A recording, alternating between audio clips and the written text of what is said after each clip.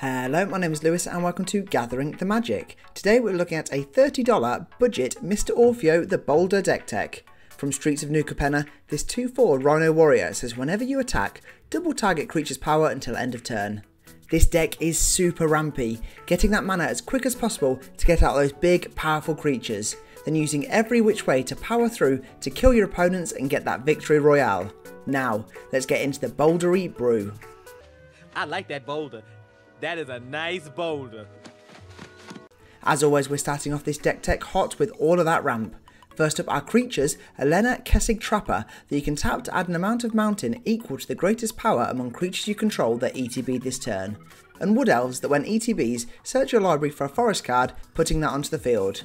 There's Cultivate and Kodama's Reach to both search your library for two basic lands, putting one into your hand and the other onto the battlefield tapped.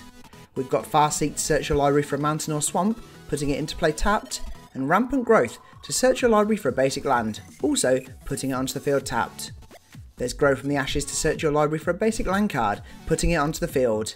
If it was kicked, you search your library for two basic lands, putting them both onto the field. And Nissa's Pilgrimage to search your library for two basic forests, putting one on the field tapped and the other into your hand. If you have two or more instant and or sorceries in your graveyard, search your library for three basic forests instead of two. We've got Harrow that makes you sack a land to cast, but lets you search your library for two basic lands, putting them onto the field untapped. And Golgari Signet to pay one tap and add that Golgari mana. Continuing that trip to Signet City, we have both Rakdos and Gruul Signet to both do exactly the same for their respective colours. We've got Arcane Signet to add one mana of any colour and Mr. Orfeo's colour identity. And finally, we have Sol Ring. Because Sol Ring. Before we get on to number 9, make sure to smash that like button and subscribe down below for all things MTG. Subscribing is completely free to do and it helps our channel grow and grow. You can also help support us by becoming a prickly pal today and becoming a channel member. You love to see it. After we've gone super rampy, we're playing huge creatures to smash face with. First on up is Aggressive Mammoth, a huge 8-8 with trample that also gives other creatures you control trample and Freelance Muscle that whenever attacks or blocks it gets plus X plus X until end of turn, where X is the greatest power and or toughness amongst other creatures you control. There's Hasty Rubblebelt Rioters that similarly when attacks it gets plus X plus naught until end of turn, where X is the greatest power among creatures you control. And Tuya Bearclaw, which does the same as Rioters but gets plus X plus X instead of plus X plus naught. We've added in huge 9-3 Frog Spirit Yargle Glutton of Urborg and Galta, Primal Hunger, the 12-12 that costs X less to cast where X is the total power of creatures you control. With Mr. Orfeo, whenever we attack we get to double target creature's power until end of turn, so having some big scary beasts that we could get to near or over 20 power will be huge. There's Rampy Big Creature Hybrid in Beanstalk Giant that we can adventure away to search our library for a basic land, putting it onto the field with its power and toughness equal to the number of lands you control. An Etali Primal Storm that when attacks exile the top card of each player's library, you may cast any number of spells from among them without paying their mana costs. There's Dragonborn Champion that says whenever a source you control deals 5 or more damage to a player, draw a card. And Shakedown Heavy that says when it attacks, defending player may have you draw a card. If they do, untap Shakedown Heavy and remove it from combat. There's Ulvenwald Oddity with Trample Haste, and you can pay to transform it to Ulvenwald Behemoth that gives other creatures you control plus 1 plus 1 Trample and Haste. And Terra Stomper, the Incounterable Beast with Trample. We've added Grunn the Lonely King that if it was kicked to ETBs with 5 plus 1 plus 1 counters on, with it also doubling in power and toughness until end of turn whenever it attacks alone and Quartzwood Crusher, the Dino Beast with Trample that says whenever one or more creatures you control with Trample deal combat damage to a player, create an XX Dino Beast creature token with Trample, where X is the amount of damage those creatures dealt to that player. The name of the game with this deck is to attack and smash, so having not only big creatures, but those creatures with things like Trample to get that damage through are key. For the last five, there's Phytotitan that when dies, returns to field tapped under its owner's control at the beginning of their next upkeep an indestructible beast Spearbreaker Behemoth that you can pay just one to make target creature with power 5 or greater gain indestructible until end of turn.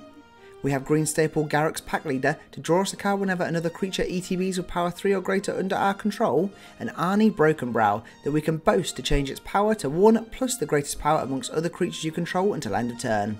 Finally, if those creatures die, we have Feldon of the Third Path that we can pay to create a copy of a creature card in our graveyard, which is now also an artifact gains haste, and we sack it at the beginning of the next end step. We've seen those big creatures, now let's look at all the ways to attack and defend with them. First up is equipment creature Lizard Blades that has double strike or can be attached to another creature to give it double strike. And Blood Mist that says at the beginning of combat on your turn, target creature you control gains double strike until end of turn. There's exponential growth to double creature's power X times until end of turn, and Mage Slayer that says when equipped creature attacks, it deals damage equal to its power to player or planeswalker it's attacking. We've added prize fight to have target creature you control fight target creature you don't control, also creating you a treasure token. And ram through to have target creature you control deal damage equal to its power to target creature you don't control. If your creature has trample, any excess damage goes through to your opponent instead. There's Fires of Yavimaya to give creatures you control haste, and Rhythm of the Wild to make your creature spells uncounterable and allow them to enter with haste. If one of your creatures die, we have Revenge Instant Fling to deal damage equal to sacked creature's power to target creature or player. And moving on to that defense, we have Kaya's Ghostform to enchant creature, and when it dies or is put into exile, return that card to the field under your control. There's Feign Death that says until end of turn, when this creature dies, return it to field tapped under its owner's control with a plus one plus one counter on it, and Snakeskin Veil to put a plus one plus one counter on target creature you control, giving it hexproof until end of turn. We have more protection in Supernatural Stamina to give target creature plus 2 plus 0 until end of turn, and when it dies, return it to the field tapped under its owner's control. And Tamiyo's Safekeeping to give target permanent you control hexproof and indestructible until end of turn, gaining 2 life. There are lots of single protection in this deck, which is key. We'll not be overloading our board with creatures, so having plenty of ways to keep the one or two we have on the field will be very frustrating for our opponents to deal with. Finally, there's Ranger's Guile to give creature you control plus one plus one and hexproof until end of turn, and Withstand Death to give target creature indestructible until end of turn. As always, before we finish up with those lands, let's look at the best of the rest in this budget brew. First up is Harmonise to draw 3 cards, and Read the Bones to scry 2, draw 2 cards, then lose 2 life. There's Rishkar's Expertise to draw cards equal to the greatest power among creatures you control. You may cast a spell with mana value 5 or less from your hands without paying its mana cost and Soul's Majesty to draw cards equal to the power of target creature you control. We have Warstorm Surge that says whenever a creature ETBs into your control, it deals damage equal to its power to any target. And Colossification that enters tapped to enchant a creature giving it plus 20 plus 20. There's Anger that if it's in our graveyard and you control a mountain, creatures you control have haste. An archetype of aggression to give all of your creatures trample with your opponent's creatures losing trample and unable to gain trample. Onto removal we have Beast Within to destroy target permanent with its controller creating a 3-3 Beast token and Death Sprout to destroy target creature, also searching your library for a basic land card, putting it onto the field tapped. Yes, even more ramp, you love to see it. We have Go for the Throat to destroy target non-artifact creature and Putrefy to destroy target artifact or creature. For the final two we have Death's Presence that says whenever a creature you control dies, Put X 1 1 counters on target creature you control, where X is the power of the creature that died. An Essence Harvest that says target player loses X life and you gain X life, where X is the greatest power amongst creatures you control. Finally, we're finishing up with all of those lands. Starting as always with those basics, we have 14 Forest, 8 Mountain and 8 Swamp, as this is a deck that runs very forest heavy and very light on those swampies.